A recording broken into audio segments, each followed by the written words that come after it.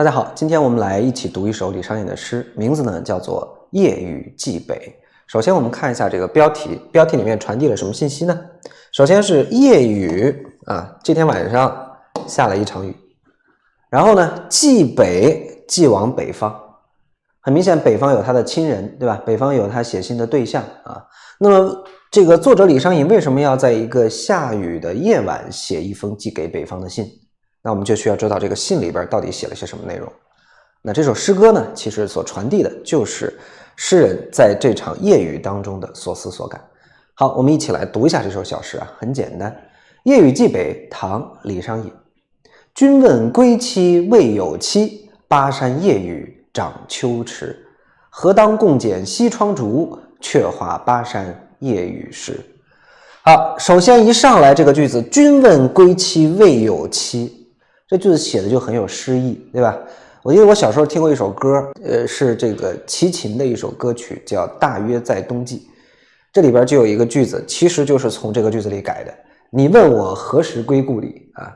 就是我也不知道，对吧？最后我说，呃，大约是在冬季，其实就是从这个格式上来的啊。你问我何时是归期，我说我还不知道。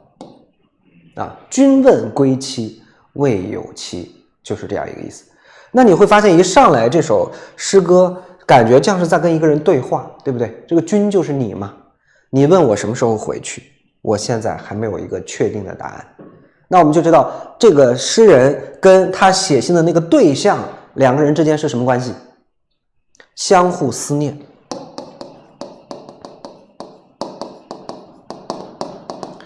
是不是一种相互思念的关系？你想，如果我写信的那个人不思念我，会不会写信来问我什么时候回？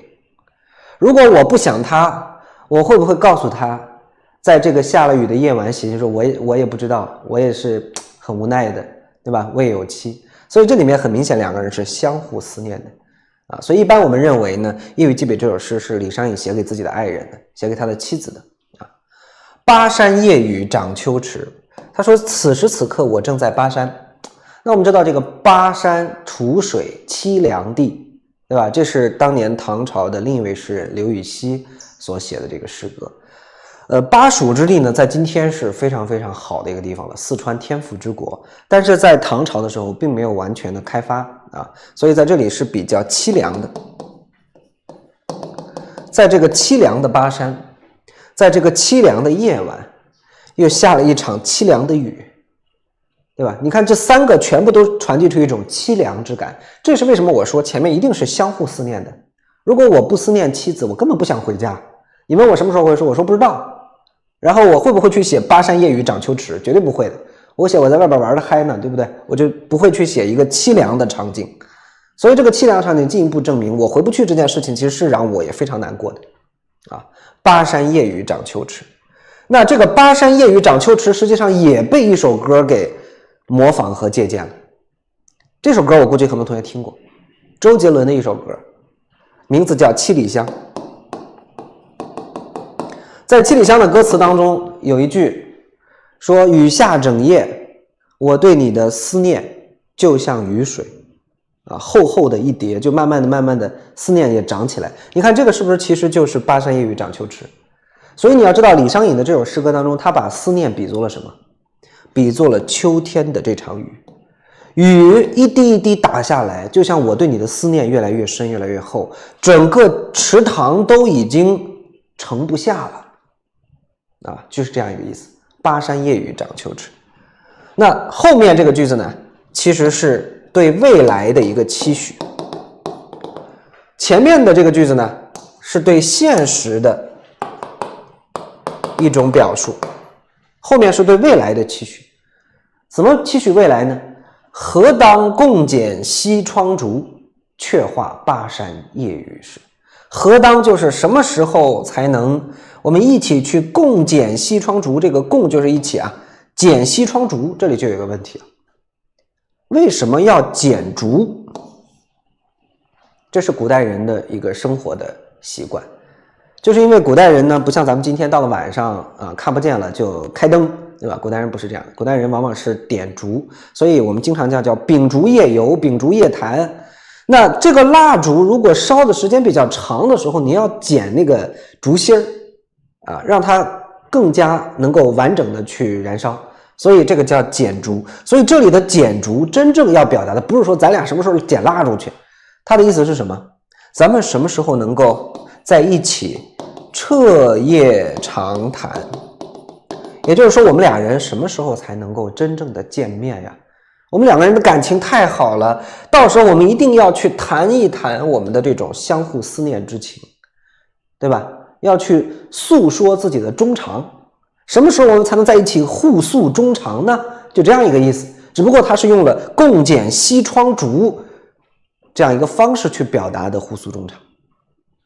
那在互诉衷肠的时候，我们要聊聊什么？我们来聊聊今天晚上在巴山的这场雨。当然，巴山晚晚上的这场雨有什么好聊的？雨没什么好聊的。我们前面讲了，这场雨代表的是什么？代表的是我对你的思念之情嘛，对不对？雨下整夜，对吧？我的思念，我的爱溢出，就像雨水，是不是？这不是这个歌词里面的内容吗？